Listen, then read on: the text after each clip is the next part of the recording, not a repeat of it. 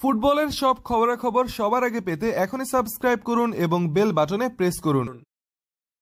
গত উনত্রিশ নভেম্বর নিজের ক্যারিয়ারের সপ্তম ব্যালন্ডিয়র জিতেছেন লিওনেল মেসি। ব্যালন্ডিয়র অনুষ্ঠানের পর কিছুটা অসুস্থ হয়ে পড়েন আর্জেন্টাইন এই ফরওয়ার্ড সে সময় শোনা গিয়েছিল, লিওনেল মেসি খেলতে পারবেন না লিগ ওয়ানে নিসের বিপক্ষের ম্যাচে। তবে শেষ পর্যন্ত গণমাধ্যমের সেই সমস্ত গুঞ্জন উড়িয়ে দিয়ে নিসের বিপক্ষে মাঠে নেমেছেন মেসি।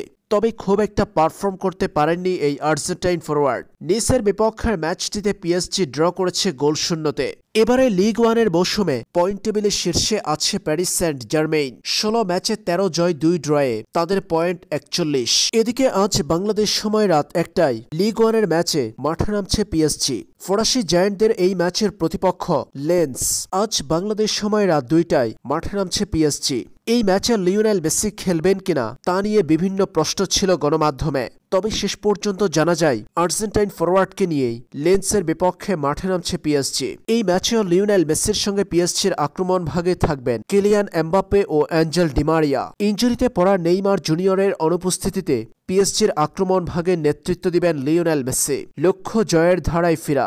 গত ম্যাচের ড্রয়ের হতাশা থেকে বেরিয়ে লেন্সের বিপক্ষের ম্যাচে জয়ের মধ্য দিয়ে আবারও জয়ের ধারায় ফিরতে চায় পিএসজি।